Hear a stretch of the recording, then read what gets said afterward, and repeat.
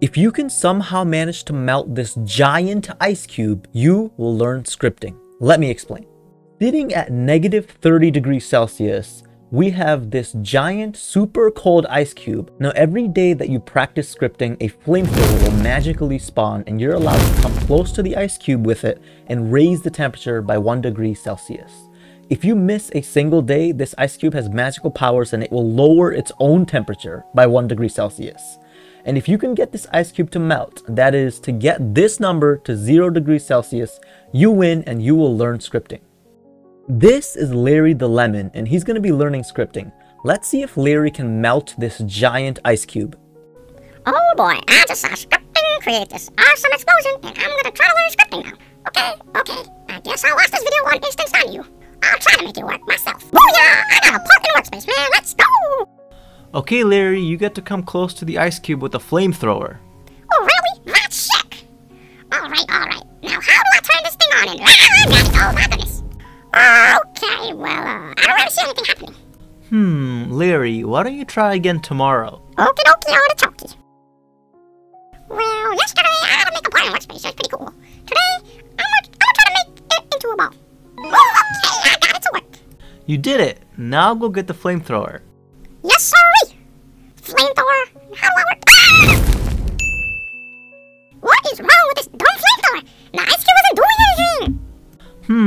Larry, why don't you try again tomorrow? Yes, sir. Today, I'll try to get the part's color to change.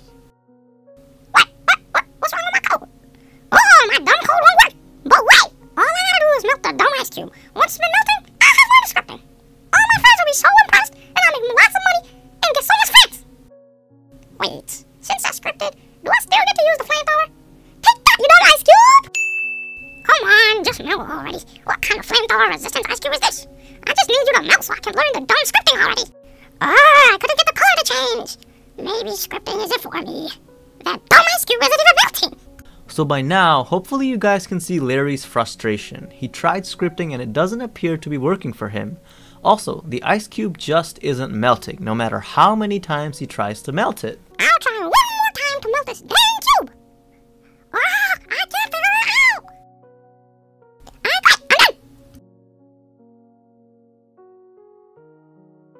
Scripting doesn't work for me.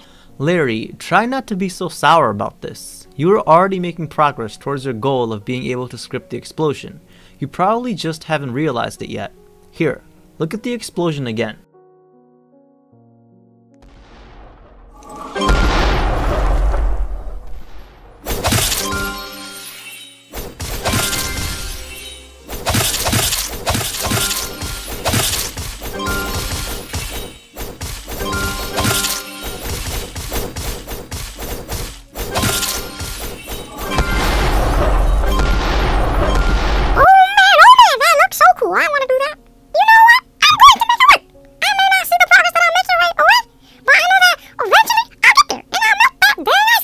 That's the spirit, Larry. And Larry repeated this process for 10 more days. Every single time he was unmotivated, he looked at the explosion that I scripted.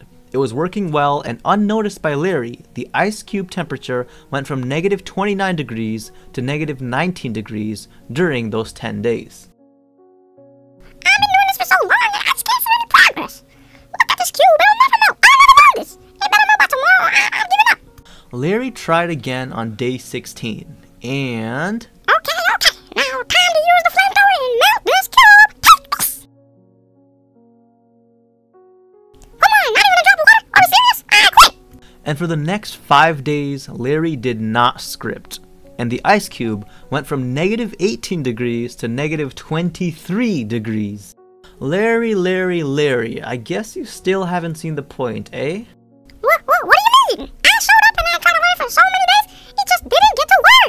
Well, yeah, that's because you found more happiness in thinking about the result than the process. Try again. Instead, this time I want you to think of yourself as a scripter. Thinking about the explosion or the money you could make will only get you so far. You have to start thinking about yourself as a scripter and try to enjoy the process of scripting. If you're always thinking about melting the ice cube and you don't see it melting, it will be very hard to continue. But if you think of yourself as an actual scripter and don't even worry about melting the ice cube, just learn to enjoy the actual scripting process, I'm sure that ice cube will eventually melt. Now, I must exit this world as I've given you a little bit too much divine intervention, so I'll see you later. Wait, wait, wait, hold your horses. No, I need your help. Don't try to be a scripter, be a scripter. Okay, I will learn to enjoy the process of scripting. Starting now, who cares about the ice cube anyway? I've always wanted to create that explosion. Instead of procrastinating and watching tutorials like Bob, I'll learn what I have to do to script that explosion. Ah, wow. So much time has passed by. I made so much progress in scripting that explosion today. I completely forgot about the tube. Guess I'll blaze it.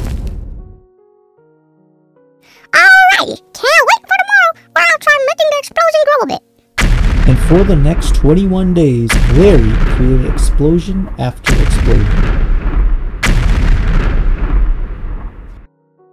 Well, I've done it. I made all the explosions I wanted. I became a scripter in my mind and I learned to enjoy the process of scripting. This dumb old ice cube will never melt anyway, I guess. That must have been a lie or something to make it harder for other people to learn the script. This dumb old flamethrower won't even work! Wait a second.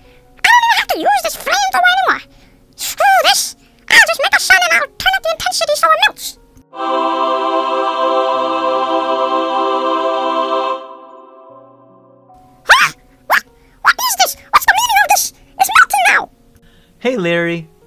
What is the meaning of this? Ha ha, I guess you'll never understand, huh? The ice cube melted and you learned to script. No, it wasn't ever the cube. That's right, it wasn't, but it melted and you learned to script.